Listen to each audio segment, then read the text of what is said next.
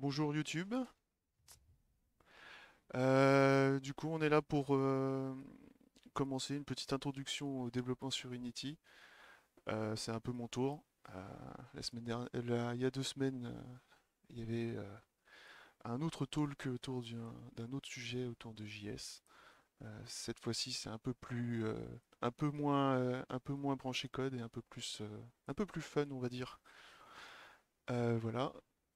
Bon, c'était fun aussi la, la semaine dernière. Enfin, il y a deux semaines. Oui, mais c'est moins fun pour tout le monde, quoi. Là, même des gens qui ne savent pas coder pour- pourront certainement suivre. Ça devrait être bien mal. Ok. Alors, on passe là-dessus. Tac. Voilà. Donc, l'intro- l'introduction au développement sur Unity. Euh, une petite présentation vite fait, c'est-à-dire que, donc, euh, salut, moi c'est Pac, euh, mon vrai prénom c'est David, et un autre protagoniste est présent, la voix d'à côté, Max No Lanterne, alias Maxime, ou c'est dans l'autre C'est sens. ça. Voilà, En sidekick. exactement. C'est pour m'épauler au niveau du chat et d'autres petites choses. Voilà. Allez, on y va. On va parler vite fait juste avant de l'histoire autour d'Unity. Enfin, plutôt de d'où vient Unity. Alors à la base, c'est euh, trois Danois. Je vais éviter de leur dire les noms comme ça pour éviter de les écorcher. Euh, trois Danois qui ont décidé euh, de, s'allier pour essayer de créer un jeu en 3D. Euh, sauf qu'en fait, ils sont aperçus qu'ils n'avaient pas vraiment beaucoup, ils n'avaient pas beaucoup d'outils à leur disposition à l'époque pour euh, commencer le développement d'un jeu. Euh, et du coup, ils ont pris la décision de créer un outil de création de jeu euh, réunissant plein de tout ce qu'on a besoin en général dans un logiciel pour créer un jeu, c'est-à-dire un moteur physique, un moteur graphique, un moteur pour le son aussi, et plein d'autres petites choses qu'on va voir tout à l'heure, un petit peu, gérer des animations, gérer des modèles 3D. La liste est longue. Euh, donc, ils ont fondé euh, Over the Edge Entertainment en 2004 et ils ont publié dans la même année, euh, le, ju- le 8 juin pour être exact, la première version d'Unity. voilà. Et qu'on va découvrir aujourd'hui avec plusieurs années, après. Euh, la juste comme ça, la société effectivement changera de nom en 2007 pour euh, Unity Technologies, qui est plus adapté du coup. Voilà. Qu'est-ce que Unity? C'est oui, dans un premier temps, Unity? c'est dans un premier temps un outil de création de jeux vidéo. Euh, il y rassemble tout ce que j'ai dit tout à l'heure, les moteurs physiques, moteurs graphiques, système d'UI, c'est vrai que j'ai oublié, et tout ce que j'ai dit tout à l'heure. Il convient aussi bien au projet 3D qu'au projet 2D. Alors ça, c'est à la base, c'était pas forcément prévu, mais ils l'ont amélioré pour que le 2D passe dedans. D'ailleurs, aujourd'hui, on va faire du 2D. Les projets euh, sont déployables sur plus de 25 plateformes différentes. Donc, euh, on voit la plupart de toutes les plateformes de jeux vidéo, donc euh, Switch, PlayStation, Xbox, ainsi que PC, tout ce qui est un peu aussi téléphone portable, donc Android. Euh, la plupart des os. Euh, même euh, on peut les sortir aussi pour des formats web.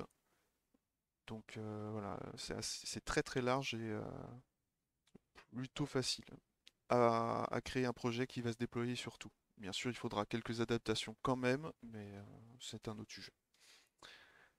Ensuite, euh, il faut savoir aussi qu'Unity n'est pas seulement maintenant euh, utilisé pour créer du jeu, il est utilisé pour plein d'autres choses. On crée maintenant des films grâce à Unity, on crée euh, des outils, des outils professionnels pour, et des simulateurs de conduite ou d'autres choses du genre. Donc il y a plein de choses qui se, qui s'appliquent. L'architecture, je crois, aussi. Voilà. Des Euh, exemples de, de films ou de, de projets comme ça, euh, autres que jeux vidéo, fait avec Unity? Euh, je sais que Disney a fait un truc euh, il y a pas longtemps autour d'Unity. Euh, je sais plus exactement ce que c'est, mais c'était un... Il y avait un Disney, court-métrage. petit studio d'animation. ouais. Ouais, c'est vrai que c'est pas rien. Mais oui, Disney l'a utilisé il y a pas longtemps. J'ai pas de d'autres références là-dessus. Je sais juste que ouais, c'est beaucoup utilisé dans ce sens-là aussi. Euh, on verra pas ça aujourd'hui malheureusement, mais euh, je me suis Mhm. informé, c'est pas si difficile à faire. Il y a plein d'outils bons pour ça. Euh, pourquoi choisir Unity? C'est une question assez, euh, assez importante quand même, surtout qu'il y a beaucoup d'autres outils de ce genre-là. Donc on va voir ça. Dans un premier temps, le plus important, il est gratuit.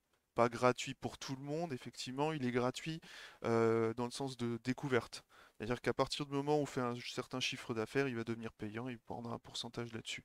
Mais ça permet à tout le monde de pouvoir l'utiliser et euh, même euh, vendre euh, assez facilement des choses, y compris des jeux, mais aussi des outils à l'intérieur même d'Unity. On verra ça plus tard. Effectivement, tous les assets sont pas forcément gratuits. Il y en a qui sont payants, faits par entre- par des entreprises qui sont qui se sont spécialisées là-dedans. Euh, tout comme euh, on retrouve ce même système aussi dans Unreal. Euh, et puis voilà. Euh, Il faut prendre en compte aussi qu'il y a une communauté importante et active, ce qui paraît logique et assez important. On dispose effectivement d'énormément d'outils à l'heure actuelle à l'intérieur d'Unity, euh, ajoutables euh, sur notre projet, euh, mais, des outils qui sont, qui sont développés ou, ou ajoutés par, Unity Technologies. Ainsi que plein d'assets différents, comme je le disais tout à l'heure, gratuits ou payants. Il y a toute une communauté derrière qui alimente régulièrement plein de choses. Aussi bien, ça va d'aussi- des, euh, des améliorations pour utiliser Unity, jusqu'à même des assets graphiques ou des sons, ou des bibliothèques de sons qu'on peut utiliser pour créer un projet. C'est euh, très vaste. Et du coup, t'as ça, euh, pas ça sur les autres, euh, Alors, sur les autres moteurs? on le retrouve aussi dans pas mal de moteurs, effectivement. Unreal, euh, le concurrent direct d'Unity, là aussi, bien sûr. Il a même un très gros aussi, une très grosse bibliothèque d'assets. Euh, ce qui reste d'ailleurs les deux logiciels qui ont les plus grosses bibliothèques d'assets euh, actuelles. Il y a d'autres logiciels très très intéressants aussi en termes d'a- d'asset store, mais euh, pour le, pour le coup, là, c'est le plus, euh, c'est vraiment en gros. Euh, oui, il faut noter que c'est une évolution constante. Chaque année, euh, Unity a une nouvelle version. Euh, généralement, c'est par trimestre. Euh, on a des versions par trimestre. Euh, il- re- relativement souvent, il y a une vidéo qui montre euh, le dernier release euh, d'Unity. Euh, effectivement, généralement, ils gardent en, version LTS. 3 ans, je crois, une version LTS, en gros. Il me semble que c'est. 3 ans. Voilà. Euh, Je rajoute aussi le fait que Unity n'est pas uniquement destiné aux jeux vidéo. Euh, Il n'y a pas plus tard que la semaine dernière, je l'ai créé, utilisé pour créer un quiz pour. euh, ah, on va enlever ça quand même, c'est mieux. Je l'ai créé pour utiliser un quiz, euh, dans, juste pour un environnement professionnel. Donc euh, c'est assez intéressant de l'utiliser aussi pour ça. Ça peut être aussi pour des applications Android et plein d'autres choses, comme je l'ai dit. Euh, ensuite, ça m'a fait perdre. Voilà. Euh, du coup, ça reste un très bon choix euh, dans beaucoup de cas comparé à la concurrence. Pourquoi? Parce qu'il est surtout axé sur l'indépendant. C'est-à-dire que si vous êtes tout seul, c'est beaucoup plus intéressant de développer sur Unity en général.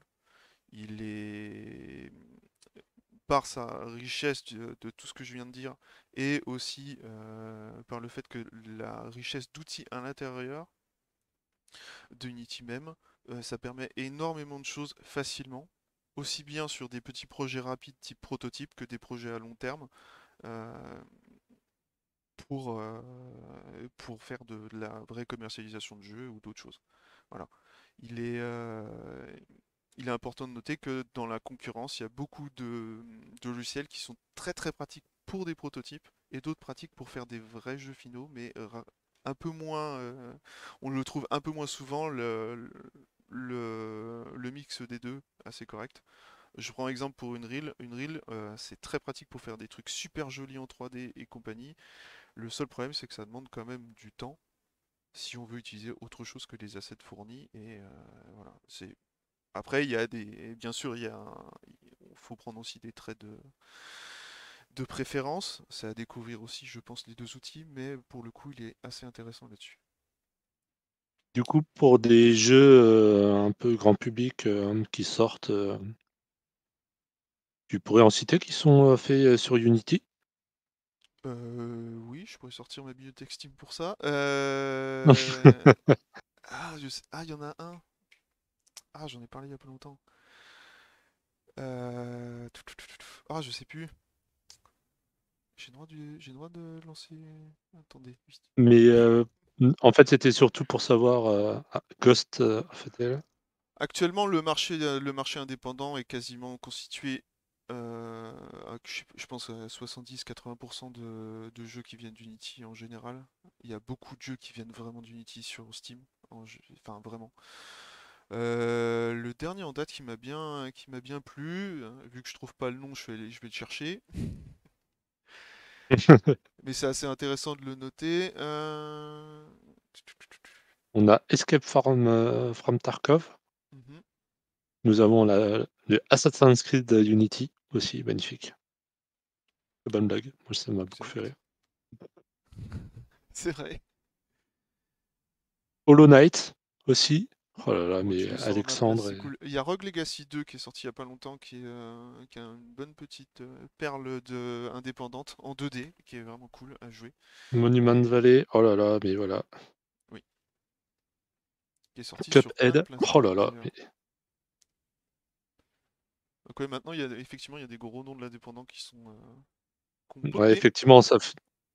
Effectivement, là, enfin, quand tu vois Cuphead, Hollow Knight, euh, c'est quand même des gros. Enfin, même si ça reste quand même euh, de l'indé au départ, euh, ça, enfin, c'est des jeux qui ont beaucoup, beaucoup fait parler d'eux, quoi. Mm. Souvent, un des gros arguments de... un des gros arguments des gens qui préfèrent une reel prennent aussi, mettent aussi en avant la qualité 3D. Euh, Il n'y a pas si longtemps que ça, Unity a sorti une vidéo de démonstration sur les capacités de leur moteur graphique et c'est assez intéressant de voir que bah il y a quand même du niveau derrière et que bah avec un peu d'huile de coude tu peux faire des trucs très beaux aussi sur Unity. Voilà. Ok, Ça, ok. C'est un petit, euh, c'est Bon. petit tac sur une. Et euh, oui, je finirai d'ajouter aussi, que c'est ouvert à de nombreux types d'utilisateurs. Effectivement, là, on va être plus sur du dev, mais en général, euh, quelqu'un qui ne sait pas développer va pouvoir utiliser Unity assez facilement. D'ailleurs, ils ont intégré dans la dernière, l'année dernière, il me semble, un outil de visual scripting qui était disponible à l'extérieur d'Unity. Là, ils l'ont intégré euh, dans les assets téléchargeables directement depuis les assets Unity, donc c'est plutôt pratique. Et aussi, ça permet aussi cohabitation entre les différents corps de métier qu'on peut avoir dans le jeu vidéo ou dans d'autres matières, c'est-à-dire pour le son et euh, pour l'image, euh, la 3D, l'animation aussi est gérable complètement depuis Unity. On peut créer nos animations sur Unity et ça, ça permet euh, une meilleure euh, gestion du groupe en général. Donc euh, vraiment, c'est ouvert à tout type de métier pouvant toucher le, pouvant toucher euh, le jeu vidéo en général. Et c'est surtout que c'est aussi je trouve, assez ouvert pour les débutants maintenant, ce qui n'était pas euh, le cas euh, au début des années 2010, D'accord. quand j'ai commencé. Voilà. Alors, je reviens sur ma page. Tac. Ce que nous allons faire, on va faire un petit jeu avec des astéroïdes, un vaisseau et des tirs. Voilà. C'est un petit remake euh, du jeu Astéroïde, qui est sorti il y a très très longtemps. Euh, On aura un droit à un petit vaisseau qui va se déplacer, et puis euh, qui va pouvoir tirer sur des astéroïdes. Ah, on a une question, c'est est-ce que le visual scripting est-il payant? Euh, non, plus maintenant. Euh, je vérifie, mais je l'ai disponible, il me semble, dans le package manager. Avant de dire des bêtises, je veux pas dire des bêtises. Et je l'ai vu il y a pas longtemps, donc euh, voilà. Et s'il est, et euh, même s'il y en a des payants, euh, parce qu'il y en a plusieurs des outils de visual scripting, Il faut savoir qu'ils sont régulièrement euh, en réduction sur les, euh, les bundles de Humble Bundle. Si ça vous intéresse, ça peut être pas mal. Moi, la plupart de mes outils, je les ai récupérés de là-dessus, dont un que je vais utiliser aujourd'hui pour faciliter le stream. J'espère avoir bien répondu. Alors. Ça me paraît clair. Donc, euh, je reviens là-dessus. Effectivement, on va, on va créer un petit jeu on va faire au plus simple. Donc voilà. Allez, c'est parti. Je change d'écran. Attendez, on n'est pas tout de suite à ça. Voilà, juste pour euh, aider au démarrage, on va créer un nouveau projet qui s'appelle un 2D Core. Pas besoin du RP, c'est un système pour la lumière dynamique, on n'en a pas besoin pour le coup. Ça rajoutera, on peut le créer avec ça, mais ça rajoutera juste des éléments dans la scène qu'on n'a pas besoin. Donc on va préférer utiliser euh, le de décor. Vous choisissez le nom, vous créez. Une fois que c'est créé, ça prendra un peu de temps. C'est pour ça que je l'ai lancé derrière. Euh, vous pourrez le lancer depuis ici. Depuis l'espace des projets. Vous pourrez choisir l'éditeur. Aujourd'hui, on va utiliser le 2022.1.21 F1 mais normalement ça devrait être compatible avec les futures euh, versions d'Unity plutôt facilement. On n'utilise que des techniques de base, il n'y aura pas de choses euh, complètement folles. voilà. Alors, une fois Unity lancé sur le projet, on va se retrouver avec cette scène-là, cette interface, euh, qui peut paraître complexe au début, mais ça va être plutôt simple, vous allez voir. Euh, dans un premier temps, on va avoir au centre le visuel de ce qu'on va avoir sur notre scène. Et à gauche, une hiérarchie de la scène. Tout ce qui va être à l'intérieur de la scène va être situé ici, dont la caméra qu'on voit tout de suite à l'écran, c'est la première chose qui est là et qui est créée. Voilà. On reviendra après sur les petits, euh, les petits onglets. Euh, ce qui va nous être utile dans un premier temps, c'est cette partie-là c'est la partie projet. Euh, en gros, c'est la navigation autour des fichiers du projet. On va directement être euh, localisé dans Asset. C'est la racine de notre projet. Et on va pouvoir, du coup, rajouter ce qu'il faut à l'intérieur. Alors, je vais chercher mon petit pense-bête. Voilà. Deux petites secondes. Parfait. Euh, on aura aussi l'inspecteur à droite, j'ai oublié d'en parler. L'inspecteur à droite qui va nous permettre d'avoir les détails des euh, éléments qu'on va sélectionner euh, sur Unity. Ça peut très bien être un élément en bas dans la navigation ou un élément de la scène. D'accord? Ce sera important pour après. Voilà. On attaquera petit à petit tout ce qui est interface. Ne prenez pas en compte les éléments ici, on les voit un petit à petit. Donc la première chose qu'on va faire, c'est qu'on va aller prendre une image. Donc là, j'ai une image ici. Euh, je vais créer un dossier là avant. Je vais créer un dossier qu'on va appeler sprite. Je vais ouvrir. Je vais, je vais aller récupérer mon petit fichier. Je vais le mettre ici. Alors ça c'est une petite astuce pour les développeurs parce que on s'imagine à chaque fois qu'importer les images ça peut être compliqué. Alors on va utiliser un petit, euh, une petite astuce. On va essayer de pas prendre en compte tout ça, on n'en a pas besoin aujourd'hui, à part une seule chose, le sprite mode. Vu que là j'ai plusieurs éléments sur mon image, je vais choisir multiple. Je vais, je vais partir sur le sprite editor qui s'est ouvert sur le mauvais écran. Bien joué. Voilà, je vais appuyer sur Slice. En gros, là, on va pouvoir, euh, séparer euh, nos sprites. Euh, en gros, cette image-là va donner lieu à 5, petites images, toutes découpées grâce au système automatique. Voilà.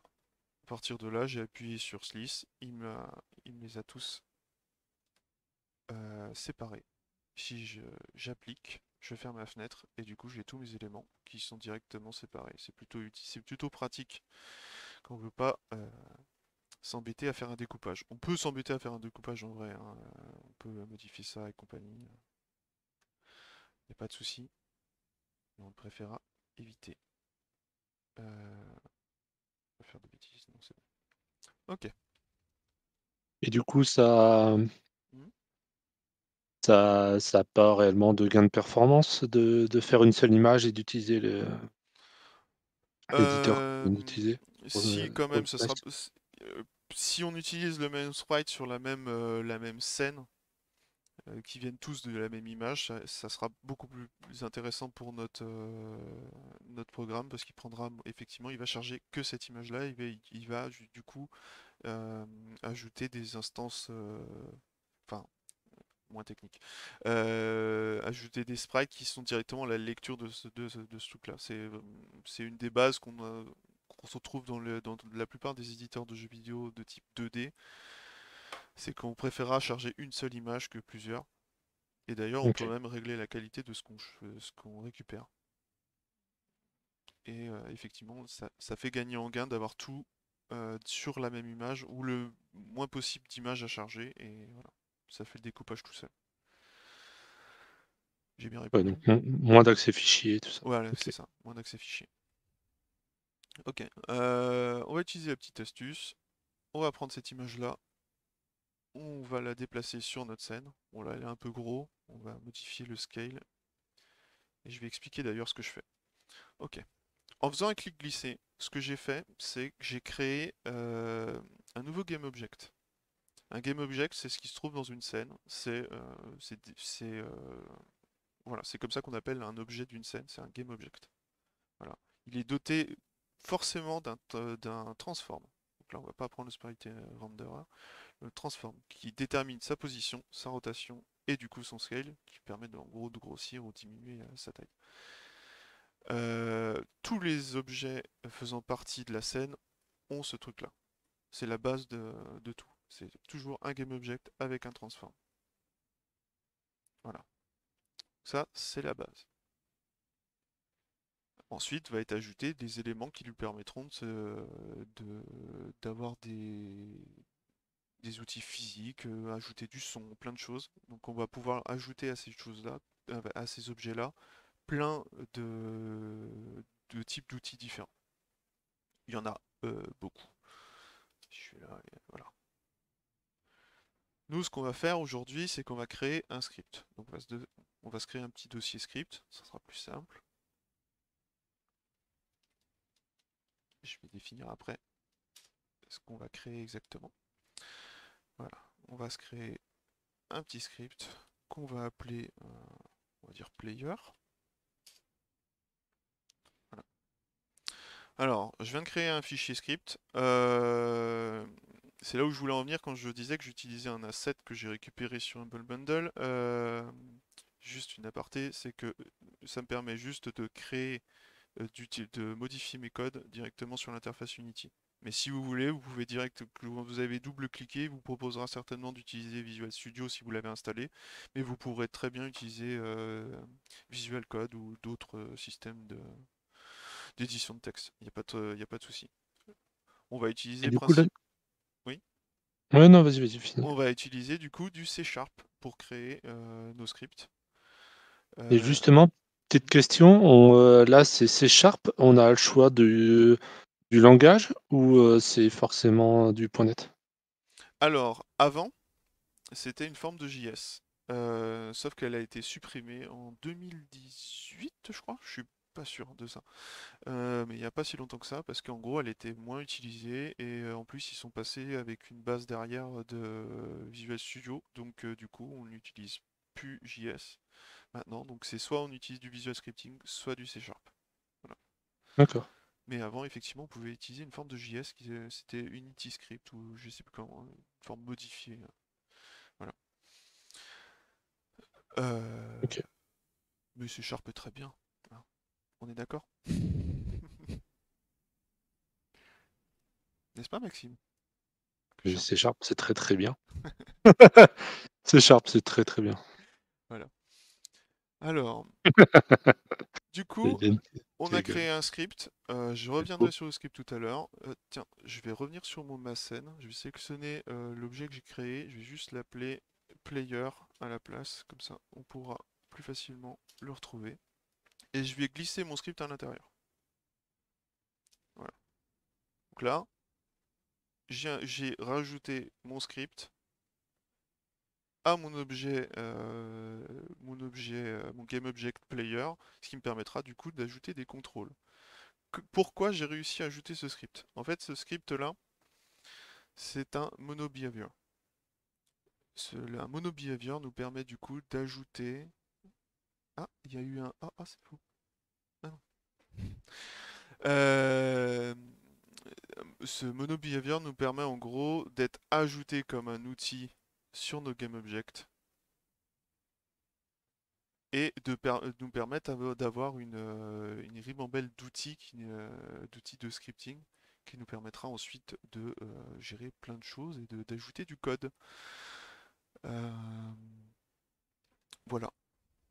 Donc je reviendrai juste après tout à l'heure. On va rajouter un autre élément à notre joueur qui serait assez intéressant. C'est un outil de physique. De physique 2D qu'on appelle, qu'on appelle Rigid Body 2D. Alors cet outil-là, il nous permet de créer, euh, d'utiliser le système de gravité ou les systèmes de physique qui sont présents dans Unity. Chaque objet disposant d'un rigid body est soumis plus ou moins à la physique, euh, à la physique du jeu. Pourquoi plus ou moins? Parce que si je décide de le mettre en statique, il sera immobile. Par contre, euh, on verra après, il aura des, euh, il pourra rentrer en collision avec le reste. Donc nous, on va plutôt utiliser du dynamique. Ouais, donc le statique, c'est plus pour les murs, les choses comme ça, quoi. Exactement. on va mettre Graffiti Scale à 0, étant donné que si jamais je lance mon programme actuellement, notre, euh, notre objet va juste tomber. Voilà. Pourquoi? Parce qu'il est soumis à la gravité euh, par défaut d'Unity, qui est euh, la gravité équivalent à la gravité terrestre. Voilà. Donc on va lui mettre 0. non, on va lui laisser 1, je vais vous montrer comment on enlève la gravité, c'est mieux. Donc on va dans Project Setting. Excusez-moi on tape Gravity euh, dans la barre de recherche. Et là, effectivement, regardez, voilà, c'est la constante de gravitation de la Terre. On va la mettre à 0. Et comme ça, on n'est plus du tout touché sur toutes les scènes qu'on créera sur ce projet-là. La gravité sera de base à 0. Ça sera plus intéressant pour nous, dans notre cas, vu qu'on est dans l'espace. Voilà. Donc là, je ferme. Donc là, du coup, je peux la laisser à 1, parce qu'on verra après, mais ça peut être utile pour d'autres euh, petit jouet. Donc on va revenir sur le script et on va le configurer maintenant. Ok. Euh, quand je parlais du, de différents outils que nous permettaient d'avoir MonoBehavior, euh, je parlais par exemple des start, update, fixed update, qui nous permet en gros de créer des actions directement. Bah, dans le cas de start, c'est pour la création du GameObject. On aura le awake, dans le cas de la réactivation de l'object. Euh, et l'update, c'est à chaque update du jeu, et eh ben, on interprétera ce qu'il y a à l'intérieur. ok? Ouais, c'est le, le cycle de vie euh, de ton, de ton monde de behavior. Exactement. Euh, donc on va utiliser le système basique d'input, c'est-à-dire qu'on va aller, on va juste pour l'instant récupérer, comment dire, des, euh, les touches du clavier. On pourra le faire autrement et on n'a pas le temps aujourd'hui. Donc on va avoir besoin de quoi pour notre, euh, pour notre vaisseau? On va, on va, avoir besoin du, du qui puisse faire une rotation. Donc on va créer une fonction. On a, on a une petite question. Euh, l'update, c'est sur la frame ou sur un event plus précis du moteur? Euh, Excuse-moi. Euh, la, fonction update, elle est appelée sur l'update de la frame ou sur un autre event plus précis du moteur. C'est sur la frame. Alors on peut, attention, il me semble qu'il y a un update aussi pour précéder toutes les frames précéder euh, la frame elle-même et une après la frame. Ouais, c'est un peu. Euh, ok. un, before, un before update, c'est un after update. Quoi. Exactement. Ok. Donc, euh, je sais pas si j'ai bien répondu à, la question. C'est bon, nous avons un merci. Kenobi. Ok, parfait. Euh, donc, on a besoin qu'il puisse rotate, euh, qu'il puisse accélérer. Donc, on va le mettre en, on va dire pulse, si ça vous va. Euh, dans ce cas-là, on aura. Alors, pourquoi rotate, je, je mets une value? Parce qu'on va savoir, on va devoir savoir si c'est vers le- la droite ou la gauche. Voilà, c'est Essaie de zoomer un poil, si tu peux. Bam, comme ça? Ça te va? Non. Ouais, là c'est bien, là, Ok, je pense. Voilà. On va aussi avoir besoin de la possibilité de tirer. Il y a des tirs. Voilà. Donc ça, c'est la première chose. On va compléter peu à peu après. On n'aura rien besoin d'autre pour le moment. Voilà. Alors, on va juste créer euh, à chaque update, euh, on va juste vérifier si une des touches est utilisée ou non. Et quand elles sont utilisées, utiliser euh, du coup, lancer la fonction euh, concernée. Donc on va utiliser input gate key. Key. Ensuite, on va lui donner un key code qui lui permettra de savoir quelle, euh, quelle euh, touche on a appuyé. Et on va dire que pour l'espace, on utilisera le, le tir. Ça vous va? Donc ouais, tout ça, c'est ça t'est donné le input key, euh, key, get key, tout ça, ça t'est donné par le par le Unity Engine. Oui, tout est dans Unity Engine à ce niveau-là, effectivement. C'est à préciser. J'ai oublié. Alors, pour aller plus vite, je vais faire un copier-coller de ça. Euh, je l'ai pas appelé pareil. Ah bah oui, j'ai oublié la majuscule, c'est pas bien. Voilà. Donc là, du coup, j'ai créé pour euh, la touche haut le pulse qui nous permettra d'avancer. Et ensuite, pour chacune des flèches euh, latérales, euh, une rotation vers la droite et vers la gauche. Avec une donnée qui, on va dire, moins 1 euh, strict. On va pas aller plus loin là-dessus. Ok? Jusque là, tout va bien. Tu fais des if, tu fais pas des else if? Pardon, c'est mon côté. Euh, si je pourrais très bien, mais euh, le problème c'est que tu peux tirer et en même temps avancer. Ouais, voilà. Là où- Et tu peux tourner aussi en même temps. Ouais, ok. Non, mais voilà, c'est très bien. Parce que sinon tu, ça bloque. Euh, mais bien, bien essayé. hein. Donc on va commencer par la fonction de rotation. Ça on pourra directement la, la tester. Euh, donc là encore, Unity Engine nous permet de, de gérer plein de choses. Et pour le coup, euh, on va directement agir sur ce qu'on avait dit tout à l'heure. Un- Tout GameObject a un transform, et c'est le transform qui contient la rotation. Ok. Donc on va directement, vu qu'on est au mono behavior, il nous permet d'accéder directement au transform de l'objet en cours. Si on l'utilise comme ça, il n'y a pas de souci, ça marche. Ok. Et ensuite, on va lui exercer une, ro- une rotation. Parce que toutes les données de rotation et de position sont sur transform. Donc on peut la rotation directement. Euh, les axes X et Y, on va pas les utiliser vu qu'on va euh, utiliser l'axe Z pour faire une rotation. Et du coup, on va pouvoir utiliser la value qu'on a récupérée ici depuis les clés, euh, depuis les flèches. Voilà. On va en profiter pour ajouter le petit pulse qui va être encore différent. Là, tout à l'heure, je vous ai fait rajouter un rigid body euh, 2D. Et ben en fait, on va agir dessus parce qu'on va appliquer une force dans ce cas-là, vu que c'est une accélération. Voilà. Donc on va pouvoir accéder à ce fameux rigid body par l'intermédiaire du GameObject, qu'on peut, tout comme le transform, récupérer de la même façon. On, prend le GameObject lui-même, et ensuite on va aller chercher son, euh, son composant Euh, son composant de type rigid body 2D dans notre cas, vu qu'on est en 2D et que j'ai ajouté un rigid body 2D.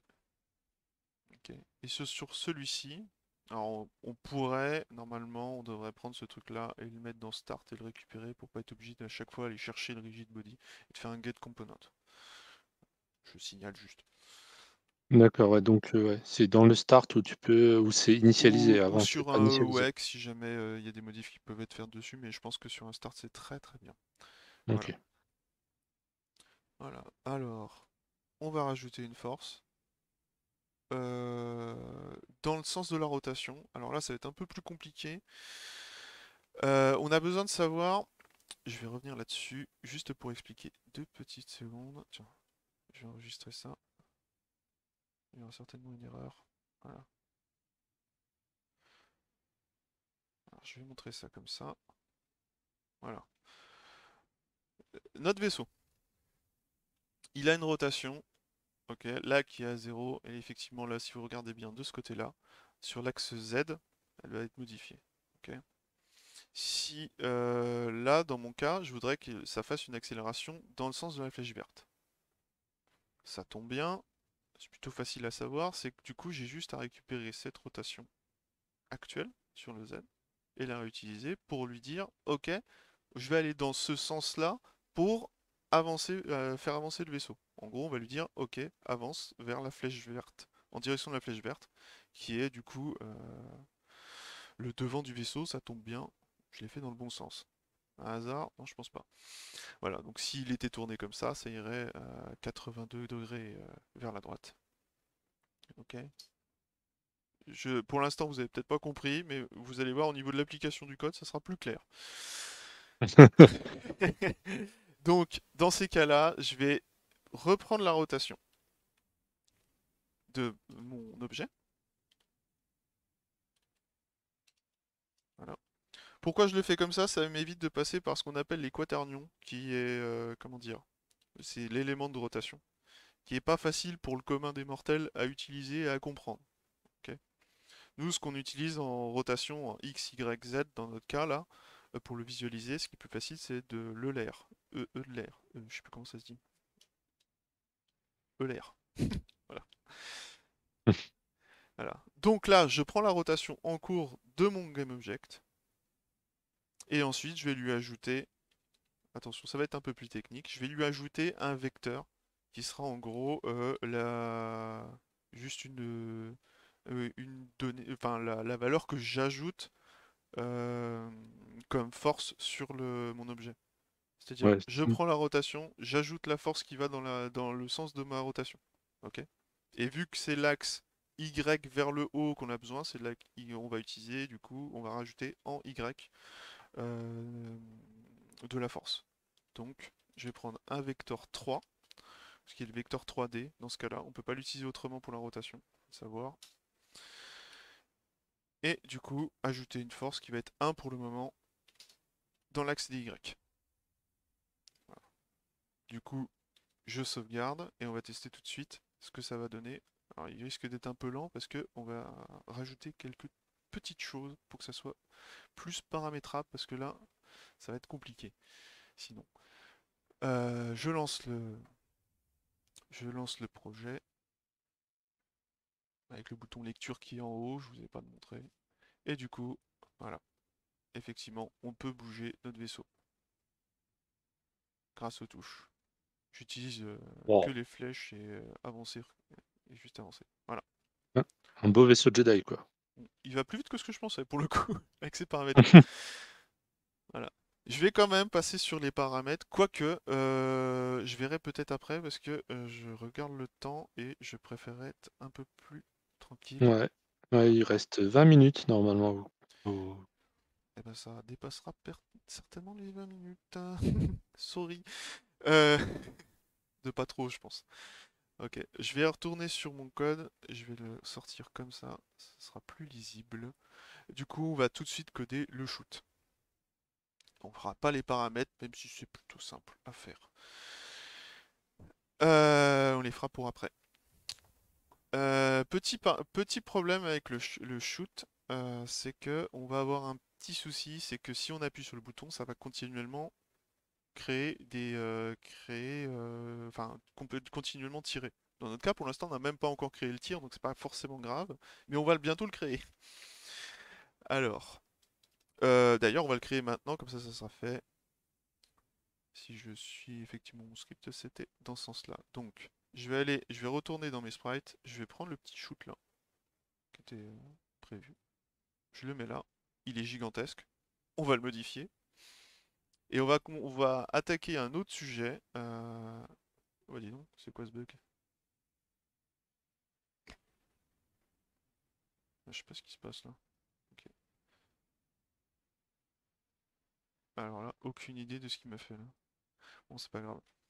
Euh, c'est un shot. On va changer son nom, c'est un shot. On le met en petit. très vite fait, voilà. Euh, je sais pas pourquoi il y a ça, il faudra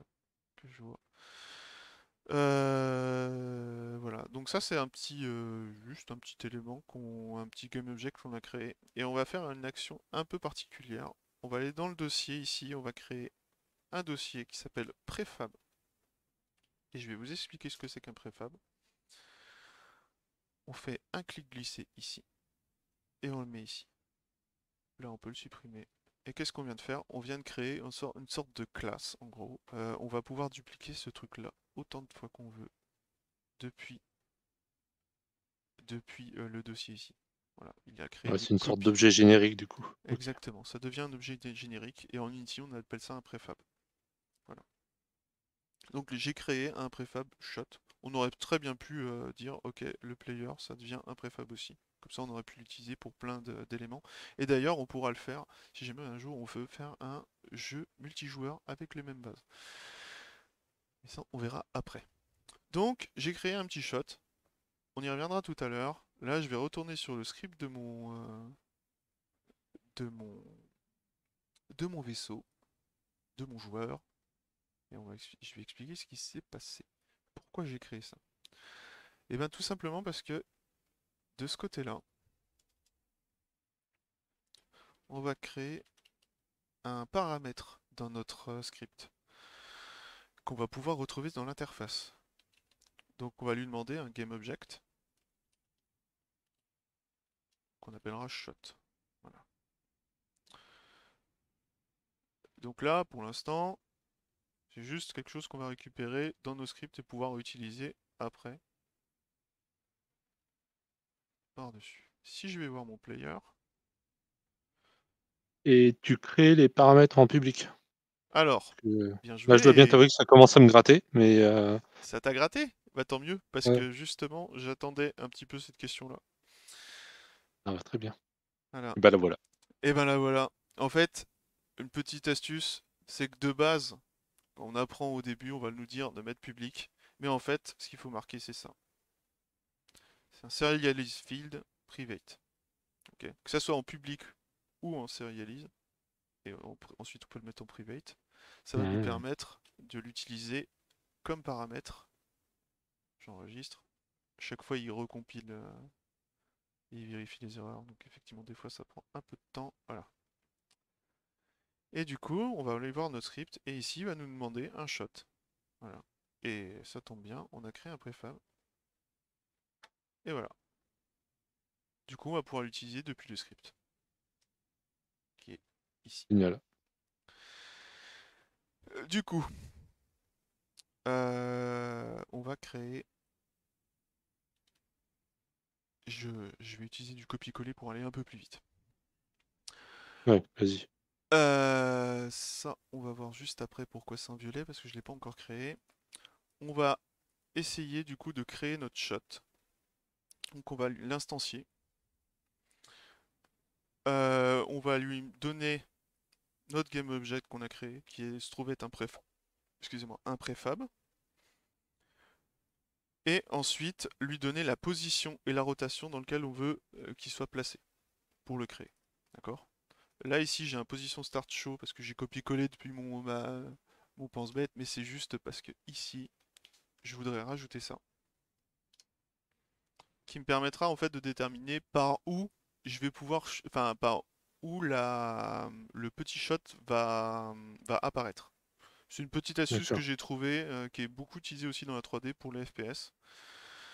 Ça permet euh, voilà, juste de le faire apparaître au bon, euh, au bon lieu. Tac, tac, mmh. je reviens là-dessus.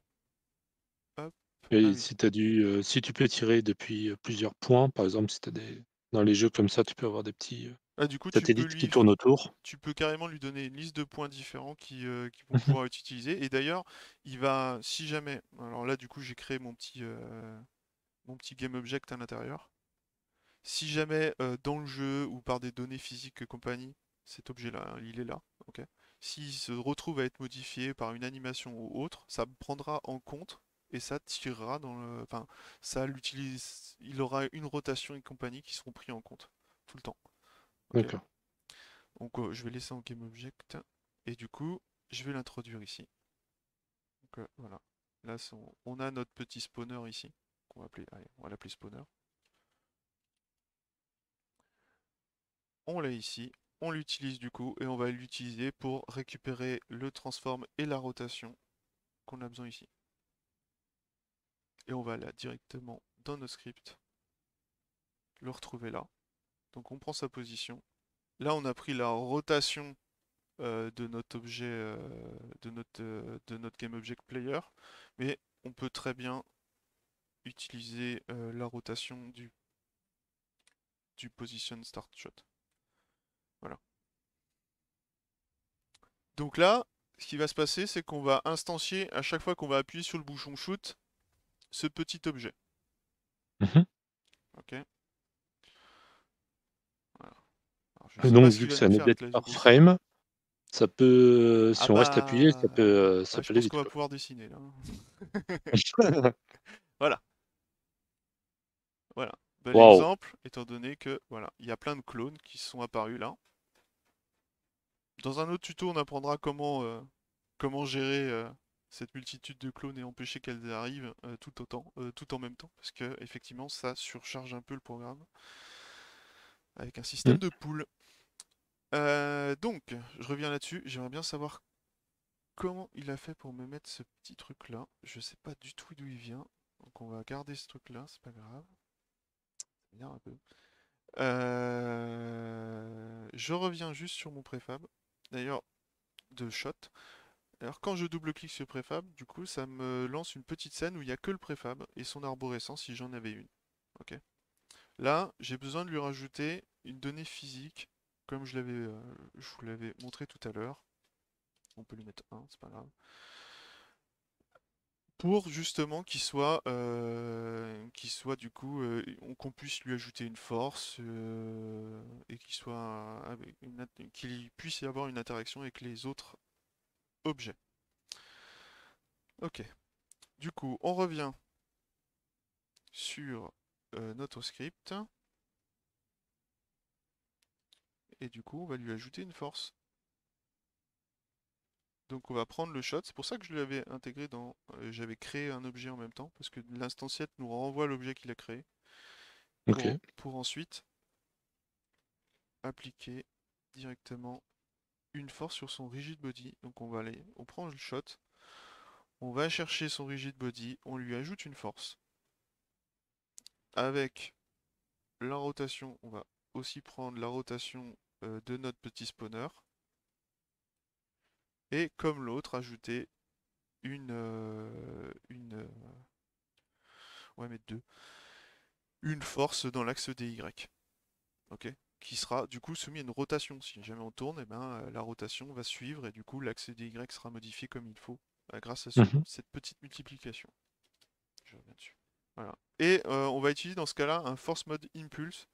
En gros, il y a deux types de force, euh, de force euh, en 2D et même en 3D, je crois. C'est la force qu'on va appeler continue et l'impulse, bah, la force qui nous permet d'envoyer un objet. C'est un peu simplifié, ce que je vous explique, c'est un peu plus complexe que ça. Mais euh, vous verrez, ça va tout de suite faire une impulsion. Voilà.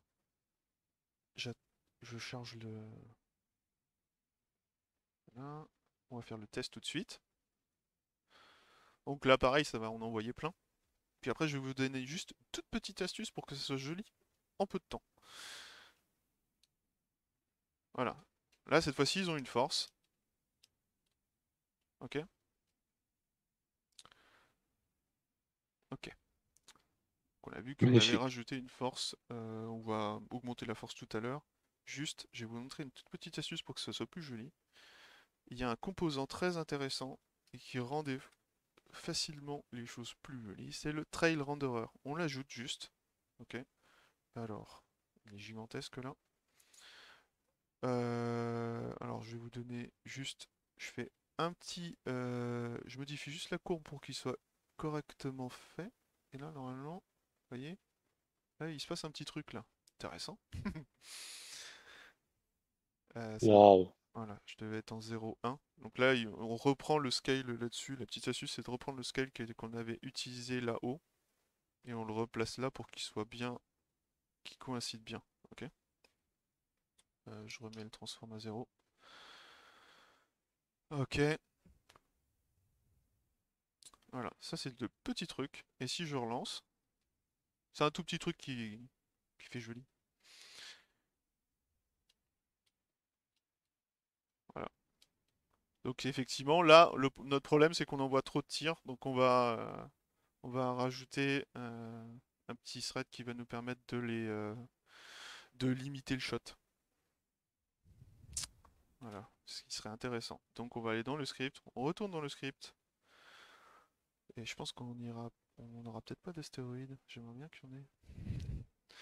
Euh, Ouais, il te reste 9 minutes quoi, pour les astéroïdes. Après, si on dépasse d'un petit quart d'heure, euh, c'est pas grave. ouais, je pense qu'on va On devoir peut dépasser pousser à petit une peu heure et plus. quart. euh. Ah, et nous reste 3 heures au pire, non? Je vais Non. devoir vous laisser. Allez. Je vais rajouter un can shot. En gros, on va. euh, maintenant, notre programme, quand on va vouloir euh, faire un tir, on va lui demander si. euh, va demander s'il a le droit et, puis voilà. Donc c'est ce qui nous permettra de savoir s'il a le droit. Donc on va le mettre autour de notre. On va mettre une conditionnelle autour de notre, de notre shot. Voilà.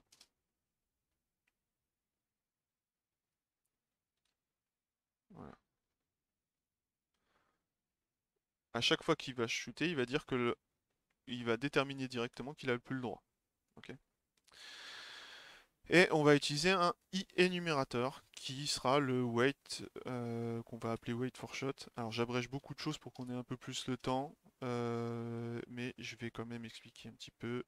Donc un i énumérateur nous permet d'utiliser le- les unités de temps plutôt facilement. Une sorte de thread qui va euh, qui va juste patienter euh, entre les shoots. Et du coup, euh, c'est vrai que j'avais fait ça comme ça. Euh, donc on a plusieurs façons d'attendre. On va plutôt utiliser la plus facile à comprendre, c'est le wait par seconde, mais on peut utiliser le wait par frame, qui peut être aussi intéressant. Du coup, on va rajouter, effectivement j'avais mis 0,2f en paramètre. On peut très bien utiliser cette donnée-là et la mettre en paramètre ici avec un serial field et pour directement la, par- la paramétrer depuis l'interface. Ce qui est plutôt pratique aussi. Et c'est ce- ce- cet outil-là qui va nous permettre de dire OK, tu as de nouveau le droit. Donc ce qui va se passer, c'est qu'on va appeler à chaque shoot cette fonction-là, chaque shoot qui a pu être tiré, hein, cette fonction-là qui va redonner l'autorisation de tirer au bout de 0,2 secondes. Donc pour Ok, d'accord. voilà. C'est une petite astuce pour euh, justement euh, manier la fréquence de tir. Et du coup, pour le pour l'envoyer, on va utiliser le start, start coroutine et lui mettre la fonction, enfin l'appel de fonction à l'intérieur. Ok. Et du coup, si on teste ce programme-là, du coup, ça paraît un peu plus technique qu'on voit en vitesse, mais je pense que beaucoup de codeurs ont compris. Voilà. Je sais toujours pas pourquoi il y a ce truc-là. Et là, du coup, il en tire beaucoup moins. Il y a vraiment une fréquence de tir qu'on a interprétée. Voilà. Ok? Nice. Donc, euh, ravi de vous apprendre qu'on a fini euh, du côté du vaisseau et qu'on va pouvoir s'amuser avec le reste. Enfin, presque fini à côté du vaisseau. Euh, je vais juste euh, mettre une vitesse beaucoup plus rigolote pour plus tard. Et on va passer à deux autres petits scripts qui sont beaucoup plus courts que celui-ci. Oui, parce que celui-là, c'est là où tu gères le Bah, en fait, le là où le joueur joue, en les entrées du player, ouais. Ouais, c'est ça. Il y a tous les inputs, il y a tous les, euh, voilà, tous les petits mouvements. Alors que les autres, ils sont soumis à ce que à lancer, euh, lancer possiblement le, euh, le, le joueur. Voilà. Ouais. Alors, euh, juste, on revient sur le vaisseau deux petites secondes et on va lui rajouter un système de collision parce que pour l'instant, il pourrait trop tout traverser, ça change rien du tout. Donc on va lui, ajouter un système de collision. Euh, pour lui, on va lui mettre un box collider 2D pour avoir un système de collision simple pour éviter d'avoir trop de calculs. Et vous verrez après qu'il peut y avoir euh, des systèmes de collision un peu plus euh, compliqués, enfin avec beaucoup trop de données. Voilà, et on va lui le rendre un peu permissif en diminuant un peu sa taille pour éviter que voilà, il se fasse toucher de partout. Donc l'idéal c'est d'utiliser les colliders les plus simples possibles si vous voulez euh, utiliser beaucoup d'objets euh, sur votre scène. C'est une petite astuce que je donne comme ça. Voilà. Euh, je viens de faire une bêtise. Alors on va créer deux nouveaux, enfin un nouveau script. Euh, Non, pas tout de suite. On va plutôt créer deux- un autre préfab. Logique, il nous manque un élément important dans notre histoire là. C'est... euh, où es-tu? On va prendre n'importe quel astéroïde, on va le mettre, on va diminuer un peu sa taille. Alors on peut le diminuer avec l'interface directement, si on utilise euh, par exemple ça. Je montre d'autres façons d'utiliser l'éditeur. Voilà, donc ça c'est un, euh, astéroïde, très simple, hein. il y a 4 traits, 5, peut-être 6. Voilà, Euh, qu'on va appeler astéroïde, en anglais, plus facile. Voilà. Alors, comme les autres, on va lui rajouter un, bah, une collision, un système de collision. On va utiliser le Polygon Collider 2D pour vous montrer un exemple. Et le Polygon Collider 2D, il va automatiquement créer une collision par rapport à ce qu'il voit. En gros, il s'axe sur le- les alphas et tout ce qui est transparent, il euh, il l'enlève et du coup, il essaie de coller au mieux la forme qu'on lui a donnée. Voilà. Après, elle est éditable. hein. Euh, Voilà, on peut prendre les, les trucs. Et en- maintenant, le bouton CTRL, une astuce qui est, que j'ai trouvé difficilement, on peut supprimer euh, des, euh, des, des petits euh, des points. Pour simplifier, regardez. On, je sais pas si on voit bien dans le stream, mais euh, on peut simplifier le nombre de traits verts et, du coup euh, simplifier le calcul pour, euh, pour le moteur physique. Voilà. Parce qu'il faut s'imaginer que si jamais il y en avait 10 000 à l'écran, bah, à chaque fois elles sont tous interprétées quand même, donc c'est un peu compliqué.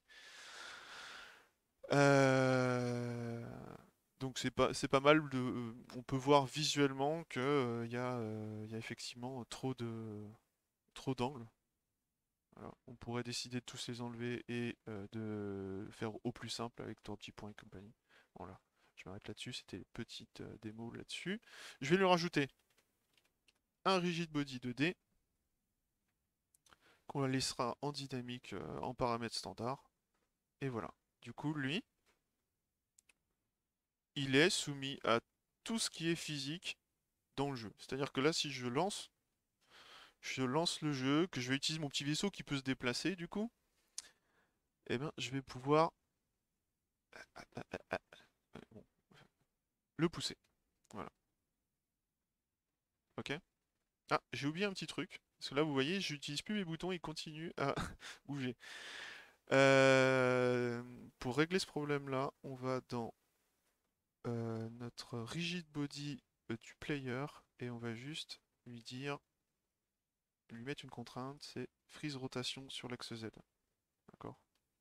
En gros, ça va empêcher euh, la physique de, de jouer sur l'axe Z. Et du coup, ça nous laissera à nous la possibilité d'utiliser l'axe. euh. Voilà. En termes de gameplay, c'est plus intéressant. Ok?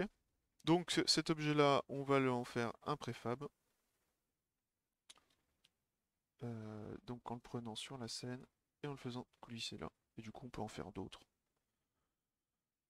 Vu qu'on n'aura pas le temps de faire un spawner d'astéroïdes, on va les mettre ici. Et on peut modifier leur taille, hein, c'est pas grave. de toute façon. En gros, ils gardent le modèle de base.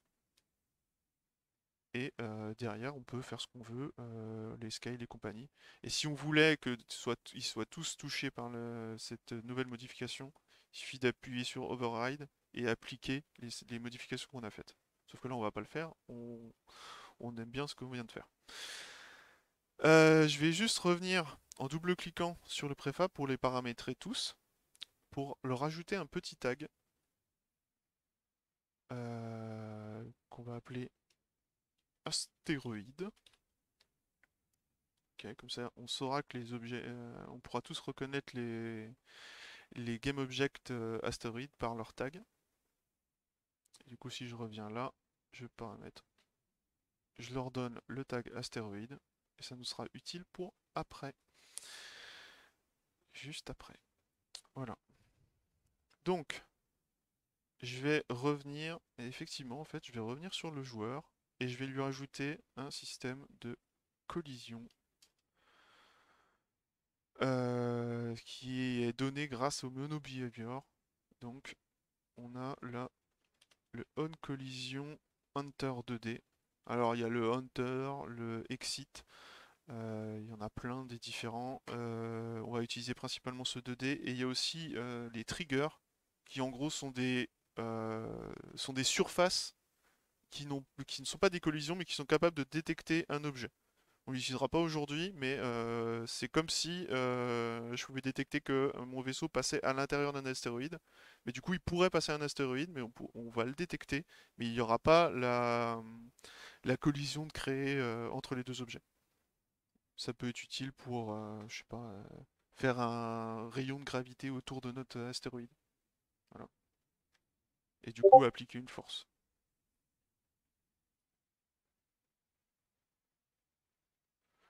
Euh, ok. Voilà. C'est bon, ça suit? Ça suit. Voilà. Alors du coup, là, j'ai créé une collision hunter 2D, qui va avoir euh, comme paramètre une collision 2D. Euh, ce qui est intéressant, c'est que la collision 2D va nous rapporter à peu près, en gros, le game object concerné par cette collision. Donc, on va pouvoir faire un test sur cette collision. On va prendre la collision info. le fameux paramètre, et regarder, prendre son GameObject et regarder le tag qui a été euh, euh, le tag de l'objet en question. Parce que ça aurait pu être un tir, là, dans ce cas-là. Sauf que là, c'est pas un tir, c'est... On voudrait savoir si c'est un astéroïde. Voilà. Donc, on va faire ça. Et ce qu'on va faire, c'est qu'on va utiliser la fonction destroy. Parce que si le vaisseau rentre en contact avec un astéroïde, on va dire qu'en gros, bah, on va détruire le GameObject, donc le vaisseau lui-même. Je rappelle, le GameObject qu'on peut récupérer comme ça directement, c'est euh, l'objet euh, qui euh, dans lequel on a ajouté le, notre script. Donc si on le récupère et qu'on dit OK, on détruit en utilisant la fonction destroy issu d'Unity Engine, il va nous permettre de détruire cet objet de la scène. Ok? Dans un, dans un contexte, on va dire, on, pour améliorer notre programme, on va plutôt, euh, en, gros, retirer de la scène, mais pas le détruire, si jamais on doit le réutiliser. Là, on le détruit euh, salement, et on n'a pas le temps d'aborder le système de poule. J'ai à signaler, parce que tu avais une urticaire hum. tout à l'heure avec le public, alors. Non, non, mais tout va bien. Tout va bien. Voilà. Donc si je relance... Ah, j'ai peut-être fait une erreur. Ça peut arriver. Qu'est-ce qu'il y a? Qu'est-ce qu'il veut Qu'est-ce que j'ai oublié? T'as oublié le return. Ah oui. Bien joué, t'as l'œil. Donc on va dire. Ah ah en, Unity, euh, je, te, je, te sers à rien, mais euh, regarde, t'as mis Void, as mis Void Enumerator, ça va pas marcher. Euh, Pour remplacer. oui, oui, oui, oui, Ah, J'ai fait la modif qu'à moitié, bien joué. T'as as encore plus l'œil, tu m'as eu. Ah putain, les C Sharp, des années de développement en C Sharp. Voilà, excuse-moi.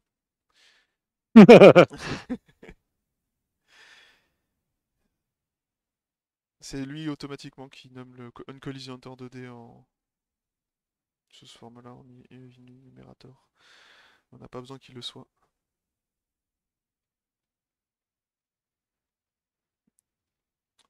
Voilà. Et du coup, si je prends le vaisseau, je sais toujours pas pourquoi il y a un gros tir en plein milieu. Voilà. Il disparaît. Donc, euh, dans un souci d'esthétique, on aurait bien mis un système de particules qui fait une grosse explosion. Et vous imaginez bien que on n'a pas le temps. Euh, voilà. Donc, ce qui serait intéressant, c'est que maintenant notre shot, il puisse détruire les astéroïdes. Parce que là, pour l'instant, il peut pas. Donc, on va créer un script qu'on va appliquer sur le shot. Ok?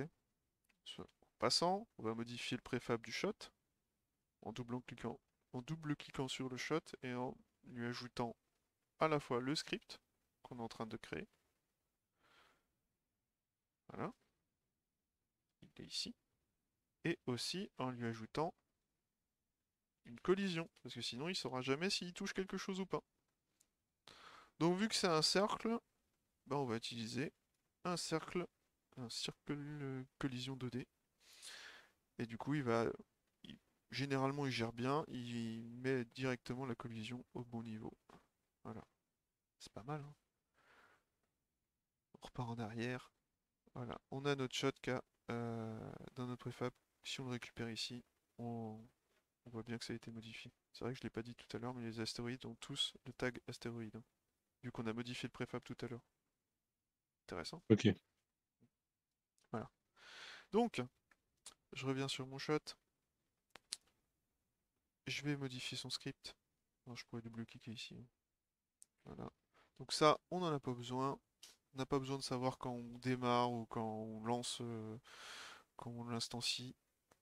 On on s'en fout royalement. On va, comme tout à l'heure, lui ajouter un système de collision. Cette fois-ci, void directement, comme ça il ne nous embêtera pas.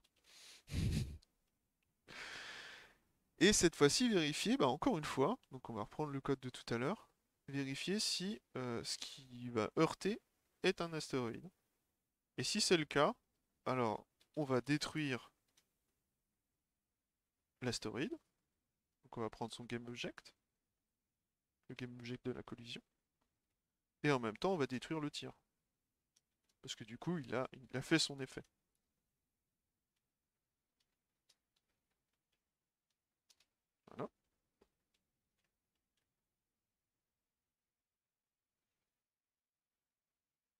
Que tout le monde a suivi pour le moment T'as des commentaires qui... Des gens qui suivent plus ou c'est bon Parce que je ne lis plus, j'ai plus de batterie dans mon téléphone. Je t'ai perdu Maxime?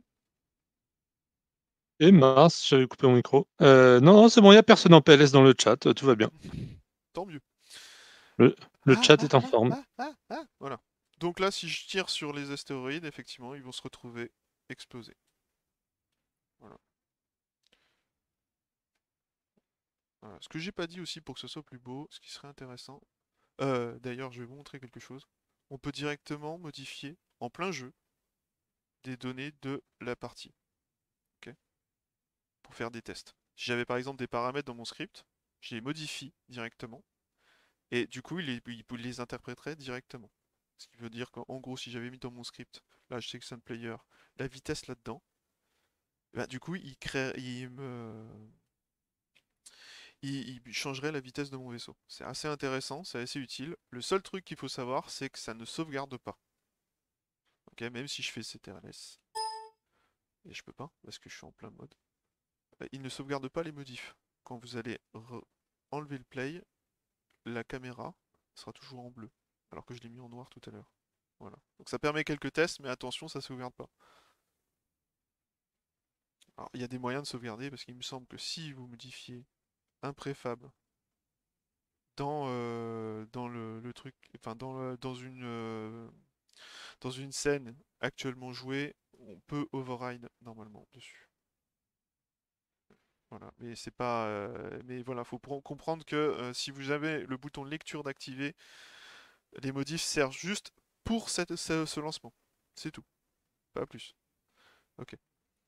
Ok. Euh, du coup, pour l'instant, bah, effectivement, on a un jeu qui euh, marche plus ou moins.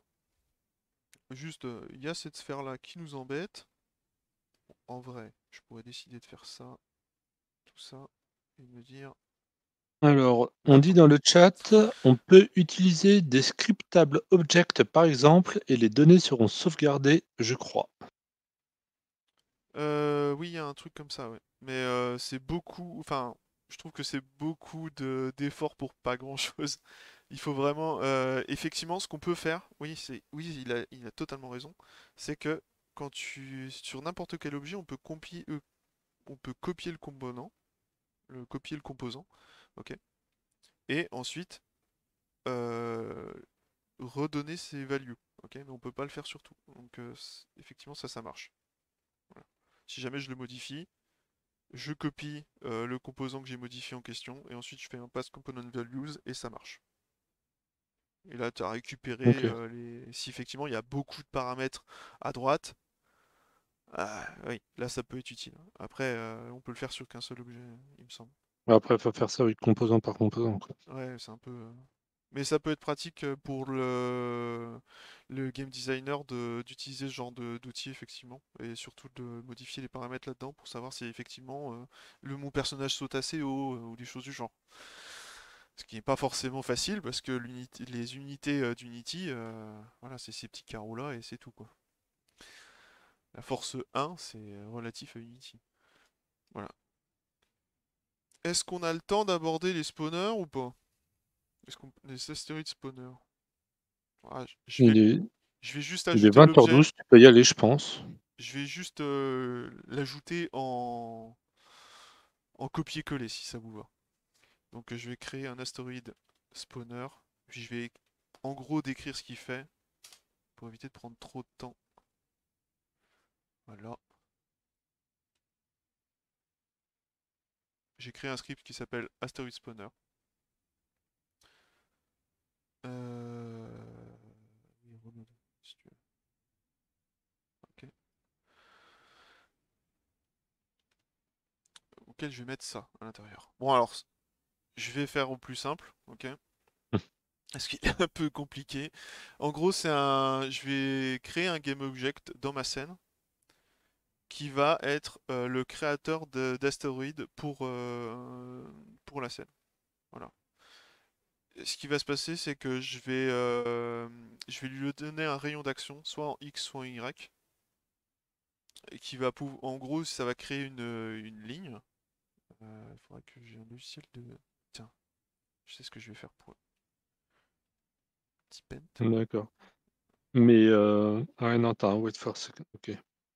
Alors, en gros, mon GameObject va être ici, je vais lui donner un rayon d'action qui va de là à là, et de et une direction aussi. Enfin, une direction. Non, façon de parler, on va pas dire une direction.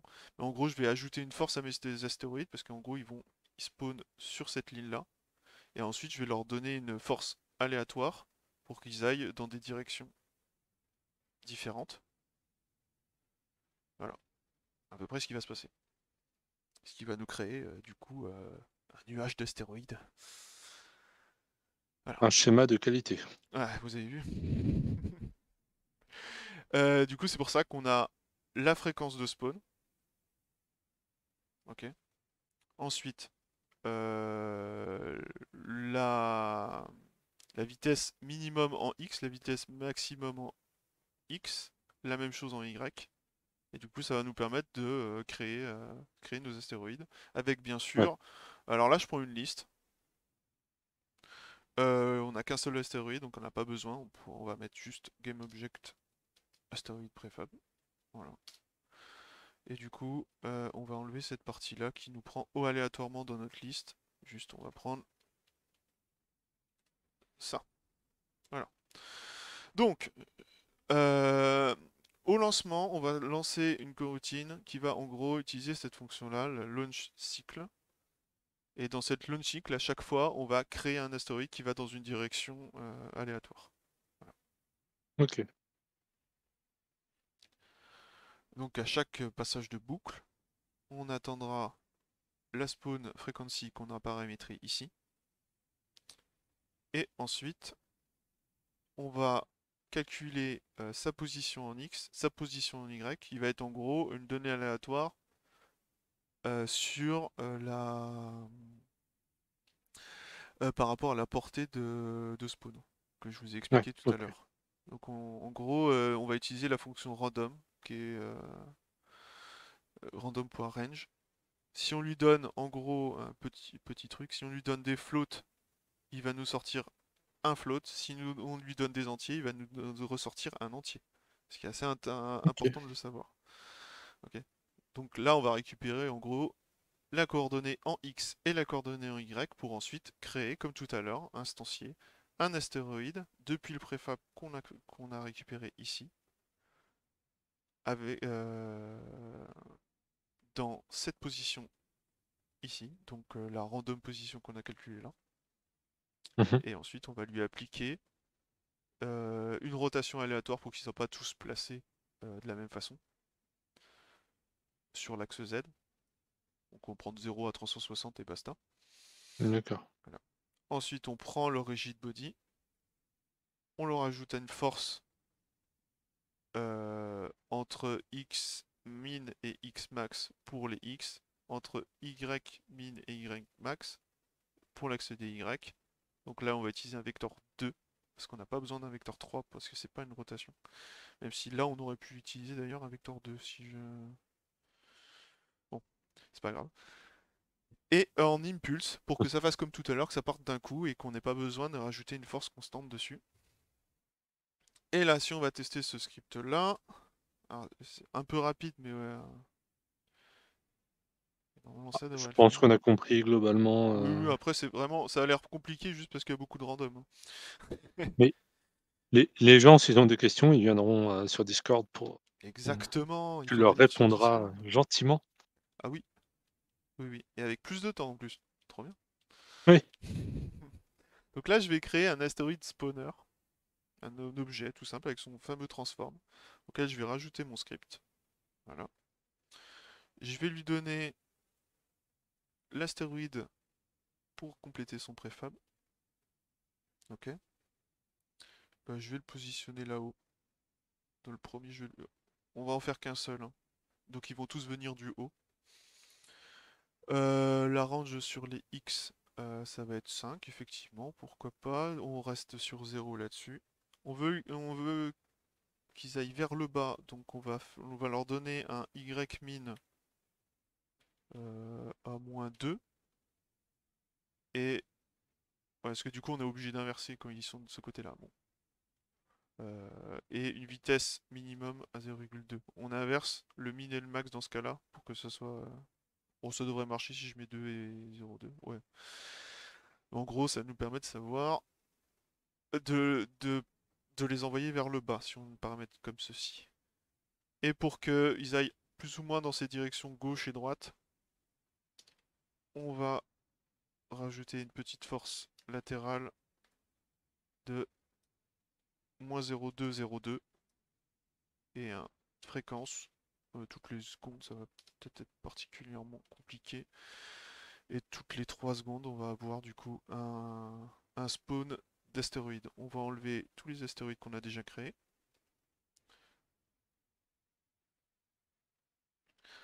on lance pour voir et normalement, ils vont partir dans la bonne direction, sauf si je me suis gouré. Là, normalement, euh, c'est magie. Voilà.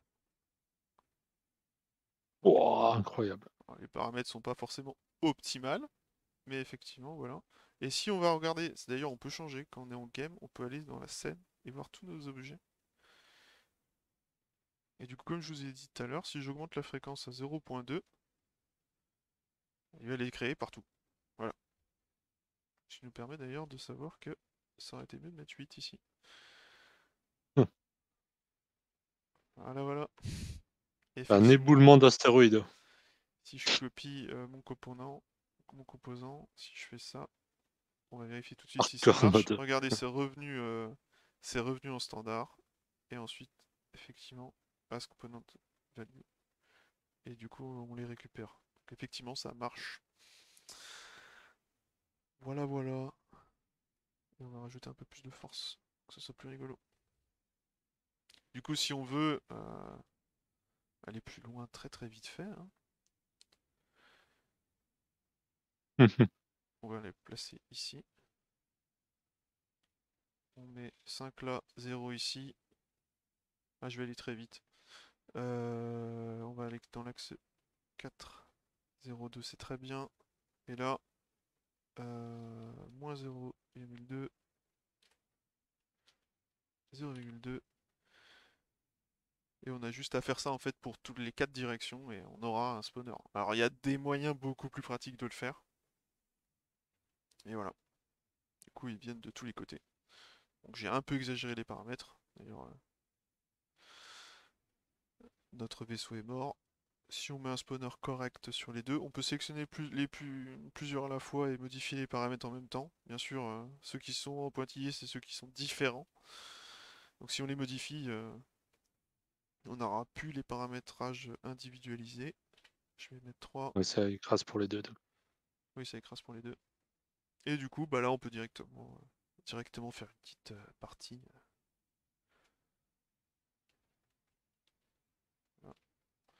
Voilà, voilà. Eh ben écoute, ma foi, Et voilà. On a fait un petit truc là, un peu plus le rendu du, euh, de la traînée est quand même magnifique. Ah bon, on aurait même pu aller plus loin. Ah, petite question. sur le joueur. Euh, au niveau des animations, ça se passe comment? Image, atlas slash sprite sheet, squelette plus keyframes, euh, GIF, code. Alors, il y a plein de façons de faire des animations sur Unity, c'est assez gros. Euh, faut savoir qu'on on peut euh, en 3D, euh, sur un modèle 3D, on peut adapter directement un squelette et Unity s'occupera effectivement de, euh, modifier le modèle pour qu'il fasse, qu'il suive le squelette. avec plus ou moins de paramètres de force entre... enfin, il faut s'y connaître un peu en 3D, mais en gros, si on veut qu'une texture soit pas trop allongée sur un côté, on pourra lui dire. Et en, en 2D, on peut effectivement aussi créer, utiliser un squelette ou juste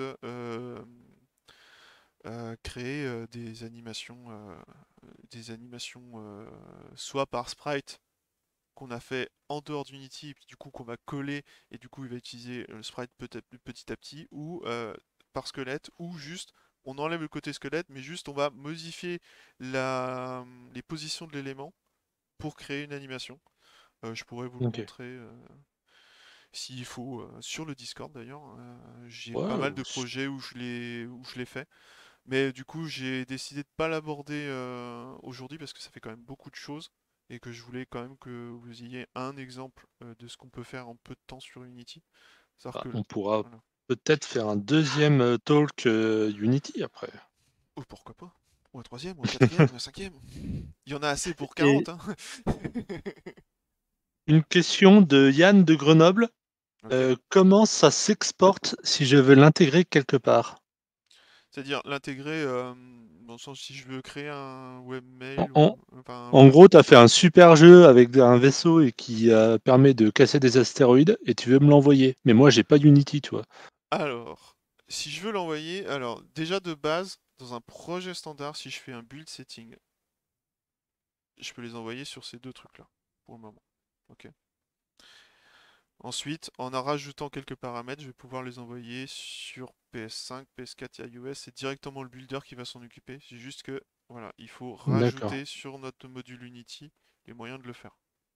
Ok, ouais. Donc tu, Et tu rajoutes de la conf pour lui dire comment transformer ton jeu. quoi. exactement, ils ont mis à disposition ça pour justement qu'on puisse les envoyer facilement. Et euh, le. WebGL du coup existe, donc c'est pas trop mal. Et on le Ouais, c'est propre. Voilà. C'est propre. Le seul- ouais, un des trucs que je trouve pas super propre, c'est ça. C'est euh, la gestion des scènes qui est directement dans le build setting. Il pourrait améliorer ça. Mais bon, voilà. Et on me on dit- on demande, c'est payant les différents exporteurs?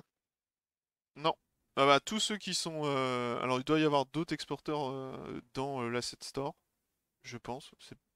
Je pense que ça devrait exister. Euh, mais la plupart de tous ceux qui sont vendus euh, comme utilisables sur Unity sont accessibles, sans souci. Ok. J'ai bien répondu, c'est bon?